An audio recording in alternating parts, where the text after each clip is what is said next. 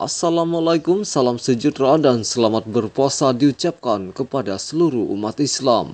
Berita ini dipetik dari My Metro yang bertajuk Menteri letak jawatan secara beramai-ramai.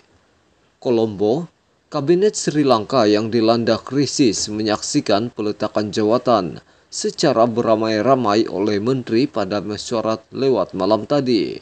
Ketika protes anti kerajaan meningkat, walaupun perintah berkurung dilaksanakan. Menteri Pendidikan Dines Gunawardena berkata, semua 26 menteri selain Presiden Gotabaya Rajapaksa dan abangnya yang juga Perdana Menteri Mahinda Rajapaksa meletak jawatan.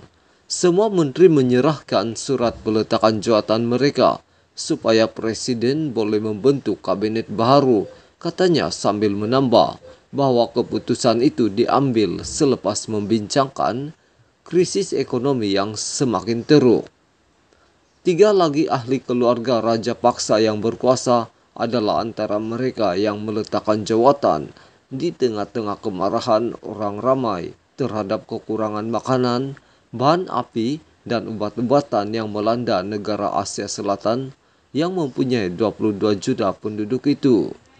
Tindakan itu dibuat selepas beribu-ribu orang menentang perintah berkurung hujung minggu lalu dalam usaha menuntut penyingkiran keluarga Raja Paksa yang kembali berkuasa pada November 2019. Sekian isu hangat ini. Jangan lupa tekan butang subscribe dan kita jumpa lagi.